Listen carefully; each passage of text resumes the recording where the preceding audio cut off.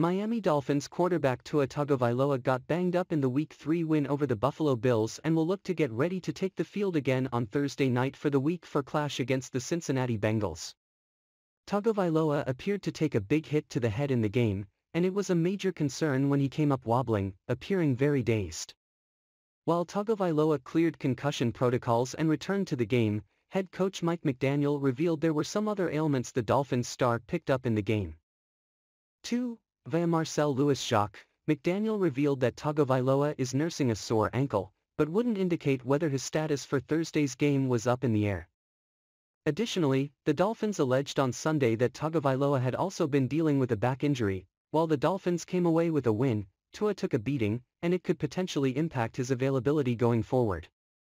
The NFLPA is investigating the Dolphins' handling of the concussion protocol after Tagovailoa returned to the game on Sunday.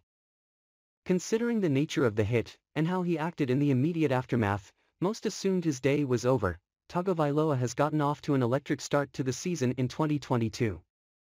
The 24-year-old has won each of his first three starts this year, throwing for eight touchdowns, two interceptions, and 925 yards while completing 71.3% of his pass attempts. He'll hope to recuperate from the myriad injuries he's dealing with ahead of Thursday night football in Week 4 but he'll be up against the clock given the short week of rest.